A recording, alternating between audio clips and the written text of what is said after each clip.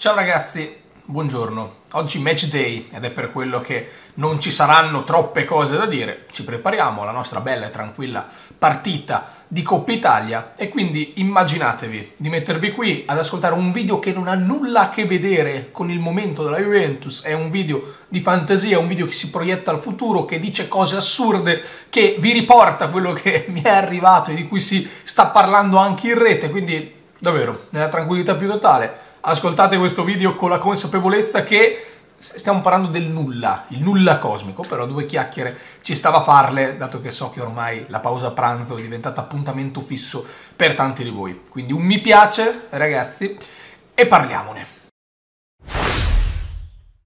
La prima notizia che vi voglio dare è la seguente. L'altro giorno un mio amico mi manda il seguente screen su WhatsApp. Jorge, get Juventus, PSG, Manchester City on the phone, I don't care, I change my mind. I can't take this anymore. Ed è sostanzialmente la foto di Cristiano Ronaldo che esce dal campo con la maglia del Manchester United, tra l'altro virgolettato. Eh, Ronaldo ha detto esattamente queste cose, eh. testuali parole di Ronaldo, ha detto di chiamare queste tre squadre. Io me la vedo, no? La scena in cui c'è ci sono Cherubini, arriva bene, Agnelli, Nedved, eh, tutti eh, allegri a cena, e squilla il telefono di, di Agnelli. Oddio, chi è? Jorge Mendes? Ma come Jorge Mendes? Sì, sì, è Jorge Mendes, ragazzi, ma mi stai richiamando? Ma cosa vuole Jorge Mendes? Non lo so, rispondi. Pronto? Pronto, Agnelli? Sì. Eh, sono Jorge Mendes. Sì, ciao, avevo visto il numero. Cosa c'è? Non è che volete Ronaldo? Ma Ronaldo Vieira della Sampdoria, un po' più giù... No, no, Cristiano scusa un attimo, ma sei consapevole del fatto che Cristiano ha giocato da noi e poi ha fatto il diavolo a 4 per andarsene negli ultimi giorni di mercato? Eh sì, però non è più contento al Manchester United, quindi non è che vorrete riprendere o riproporre una nuova avventura a Cristiano Ronaldo alla Juventus. Andrea, Andrea ci sei? Andrea? Cosa voleva? Ma niente, pubblicità, una roba del genere, no? Perché come può nascere una trattativa di questo tipo? Perché poi nei commenti c'è anche qualcuno che ci crede, no? Eh, I commenti di quella pagina Facebook sponsorizzata, io non la conosco, Give Me Sports, però mi ha fatto ridere perché nei commenti anche alcuni tifosi dell'evento dicono magari quella... Ve lo vedo, anche Ronaldo che arriva e dice va bene, sono tornato, Vlaovic da 1007 e Vlaovic dice no, me la tengo io. Eh, cosa facciamo? Cristiano 29 come Deceglie. Un bel Cristiano 29 come Deceglie. Ragazzi, sono robe che, che so, sono fuori dal mondo. Sono fuori, come può... Cristiano ha fatto 37 anni, mi pare, l'altro giorno. La Juventus aveva fatto 4 anni di contratto, proprio perché poi all'ultimo anno avrebbe ragionato qui e là. C'è stata una rottura da Cristiano Juventus voluto da Cristiano. La Juventus si è trovata nella merda. Adesso Ronaldo non è felice al Manchester. Oh, Pirone, un grosso in bocca al lupo per il futuro. Mi auguro che tu possa trovare una sistemazione migliore, eh, però la prossima volta ci pensi prima. Nel senso che eh, non è che noi adesso... Eh, me la vedo, no? Poi la, Juventus che dice no, politica sui giovani e e là, e dopo che se n'è andato Cristiano Ronaldo lo ricompriamo e gli ridiamo 31 milioni di euro all'anno dopo che stiamo cercando di abbattere i costi. Sì, sarebbe veramente un trend da seguire terrificante e positivo. Poi quello che è Cristiano sul campo secondo me non si discute. C'è gente che nei commenti scriveva eh, gli anni passano per tutti e quella. È vero, passano per tutti, ma Cristiano Ronaldo è e rimane un campione. Mi dicono che Cristiano sta andando molto male in Inghilterra, però eh, ragazzi va bene che in Premier non ha segnato una valanga di gol. Va bene che in questo momento lo United è anche complice di qualche partita a recuperare, non è fisso nelle prime quattro posizioni che garantirebbero la Champions. Eh, però in Coppa dei Campioni questo ha fatto, mi pare, 6 gol in 5 partite o viceversa, una roba del genere. Chiedetelo all'Atalanta, lo sa bene che, che, cosa significa giocare contro Ronaldo in Champions. È una, una mina vagante lo United. Finché ci sarà Ronaldo sarà considerabile una mina vagante. E penso che il valore di Cristiano sia difficilmente... È difficile metterlo ma dai, parliamoci chiaro, adesso stavo cercando di organizzare la frase in una maniera, ve l'ho detto, questo video sarà un po' così. Ma come si può ancora mettere in dubbio Cristiano Ronaldo? come? Questo è vero che ha un'età elevatissima, ma fa parte di, quel momento dello sport in cui l'età è soltanto un numero, effettivamente, perché uno come Ronaldo magari ci crede e dà di più rispetto anche a uno con qualche anno di meno.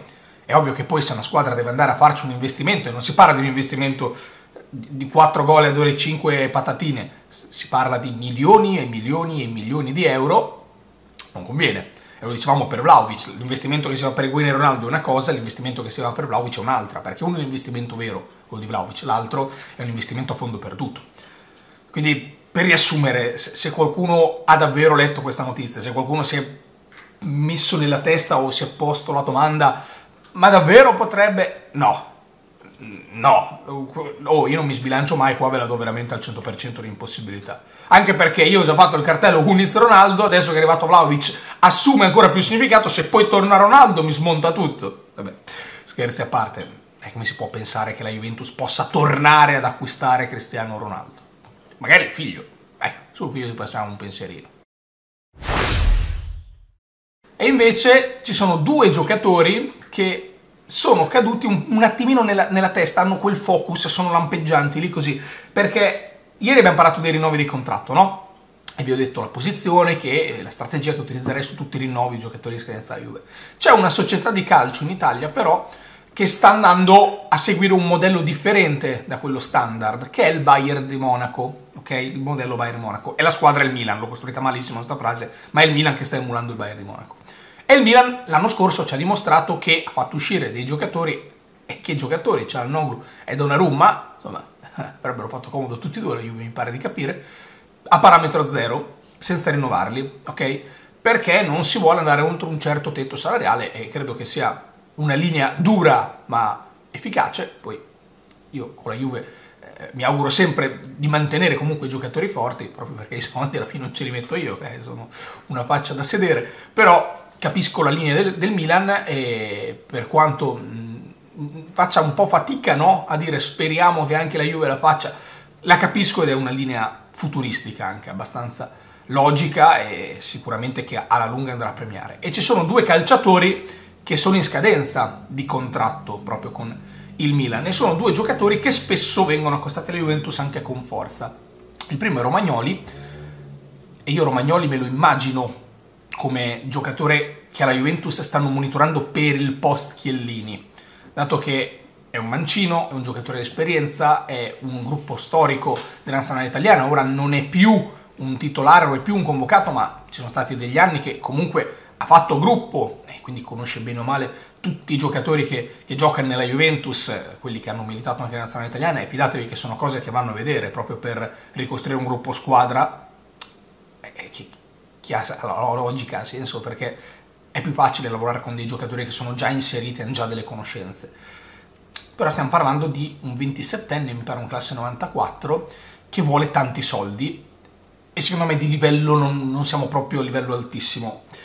Però secondo me la Juventus non monitorerà e tanto, proprio perché abbiamo detto il Milan sta seguendo quella linea, la Juve anche la Juve sta seguendo una linea inerente relativa ai giovani, però credo che non si farà scappare comunque l'opportunità, eh, o forse 95 Romagnoli, l'opportunità di tesserare Romagnoli se dovesse abbassare di tanto le sue pretese economiche, anche perché poi il prossimo anno va in scadenza Rugani e c'è sempre quel punto interrogativo sul discorso d'elite. Secondo me Rugani ha fatto delle buone prestazioni fino adesso, ma come quarto rimane un po' un problema. Quindi secondo me Romagnoli è uno di quei nomi che la Juventus eh, ha nel mirino, ha cerchiato di rosso. Il secondo è che sì, Ecco, che sì, che sì mi, mi pare esattamente il giu- esagero, eh.